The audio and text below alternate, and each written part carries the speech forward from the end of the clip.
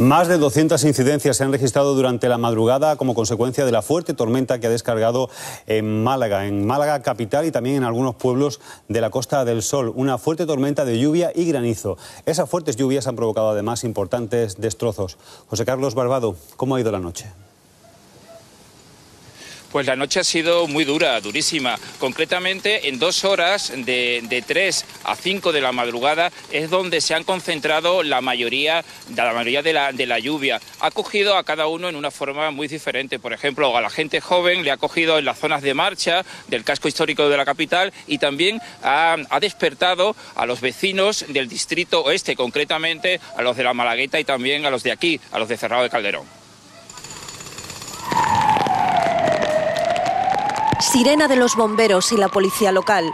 No ha habido daños personales, pero los operarios han trabajado duro durante toda la madrugada en Málaga para atender las incidencias registradas por la lluvia, cerca de 200 durante toda la noche. El agua se ha acumulado en calles y avenidas y ha ocasionado problemas en el tráfico y la circulación. Numerosos coches han quedado atrapados por el agua. Un agua que ha entrado con virulencia en bajos y garajes que quedaron inundados.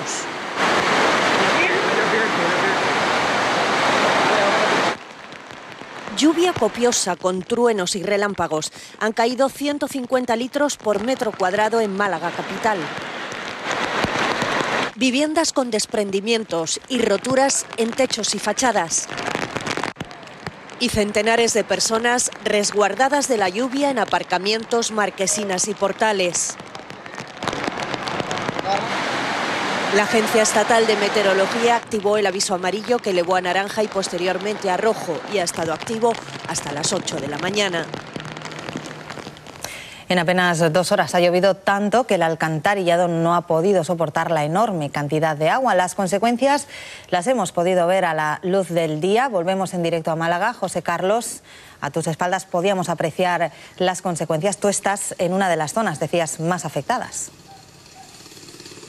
Sí, estamos en una de las zonas más, más dañadas, más afectadas. Han causado sorpresa entre los ciudadanos malagueños, eh, sobre todo no se terminaban de creer que la lluvia caída pues podía provocar eh, tantos destrozos. La parte más afectada, que es donde nos encontramos, es la zona del distrito este y concretamente la barriada, la barriada malagueña del Cerrado Calderón, en la zona de la calle de los Flamencos, que es donde estamos. El casco histórico de la capital malagueña y especialmente el distrito este han sido la zona más afectada por el temporal tras la tromba de agua y granizo. En el cerrado Calderón se han desprendido parte de la carretera en la calle Los Flamencos, lo que ha provocado destrozos relevantes en un gran número de coches. No se han registrado daños personales. Los vecinos de Cerrado Calderón no disponen de luz ni agua. Esta parece que ha pasado por aquí un terremoto impresionante. Todo cortado, nosotros estamos sin luz, sin, sin, agua, sin gas y la calle, bueno, pues ahora lo, no sé si lo habéis visto, es como si hubiese caído una bomba. Hemos estado la noche sin dormir, o sea, rezando para que no fuera más, porque cada vez que pasa estas cosas, pues inunda todo. El colegio de mis hijos, pues ya por WhatsApp hemos estado movilizándonos porque los sótanos están inundados. Muy sorprendida, más que había dos o tres coches que están ya eh, el, el, bosque, y, eh, sí, muy sorprendida, de verdad. No tenemos gas ni agua ahora mismo. Es horrible, sí. Es un, algo espectacular a verlo. ¿no? no sé si usted fue a ver la, la cosa, me es uh, algo fuerte. Desde el ayuntamiento se recomienda precaución a los vecinos de la zona y que los ciudadanos no salgan de sus casas en las próximas horas. Desde las 3 de la mañana que, que, que empezó a caer la tromba, este distrito, desgraciadamente ha sido uno de los más afectados. Están los servicios en la calle, también muchos ciudadanos que en cuanto se han despertado se han dado cuenta de las consecuencias. Tenemos que pedir a la gente que, que ahora mismo está circulando y hasta que lleguen las máquinas a retirar, que vaya con mucha calma, que a ser posible no salgan de sus casas, salvo que sea imprescindible. Paciencia, los bomberos los tenemos repartidos, la policía, Además, han inundado establecimientos y garajes en el casco histórico de la capital, especialmente el parking de la Plaza de la Marina.